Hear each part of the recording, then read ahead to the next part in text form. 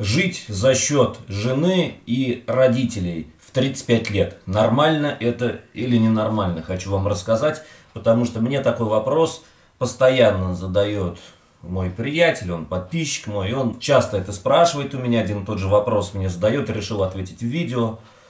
Если у тебя есть квартира, машина, загородный дом, а у него именно так и есть, Пускай у него машина не слишком дорогая, квартира тоже не слишком дорогая и не новая, загородный дом не коттедж, то первостепенные причины финансовые уже и цели закрытые. И их закрывает, как правило, эти всякие процессы жена и мать у него. А он сам не может найти работу. Месяц тут, месяц грузчиком, месяц сварщиком, месяц там, месяц тут, месяц там, месяц в такси.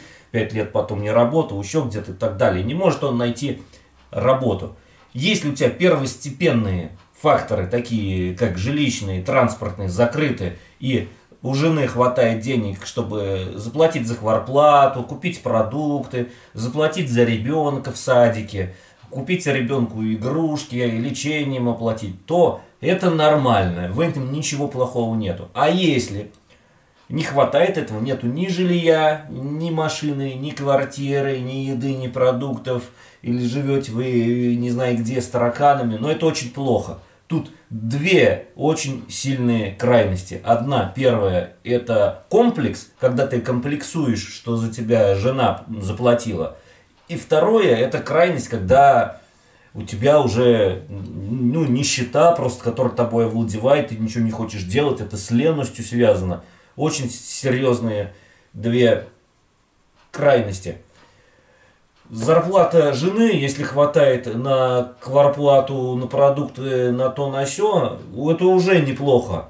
Многие будут говорить, что это очень плохо, когда кто-то висит на чьей-то шее. Или очень плохо, или наоборот хорошо, когда женщина платит за мужчину, все, надо сразу жениться в ЗАГС ее брать. Или наоборот не брать мнения очень сильно разделяются, как мужчина и женщина на этот счет. Я вам скажу случаи из своей личной жизни.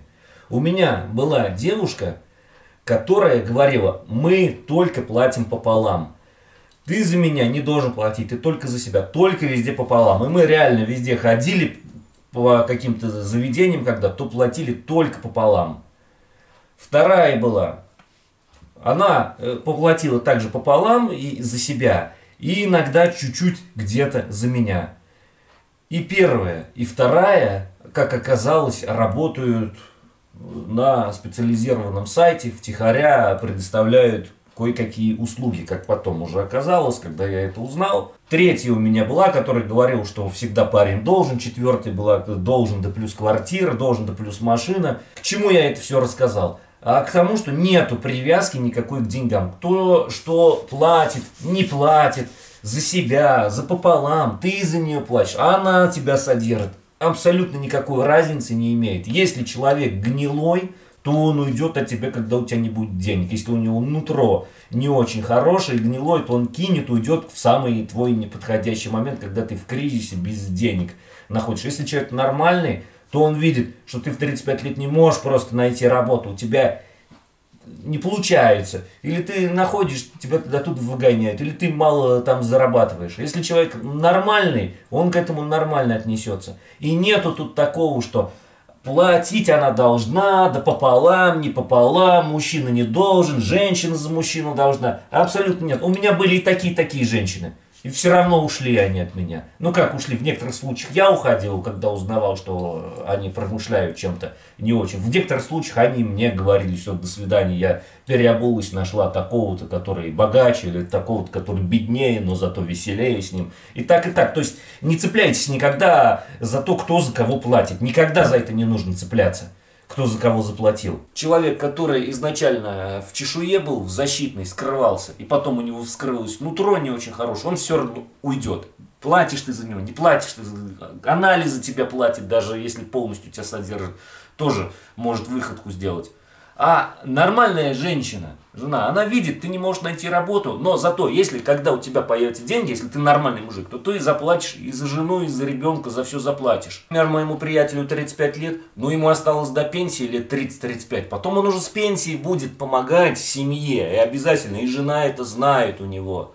и ребенок это знает, и мать знает, что потом с пенсии, когда ему будет 70, он будет обязательно помогать родителям. Ну или во сколько на пенсию тогда будут уходить через 35 лет.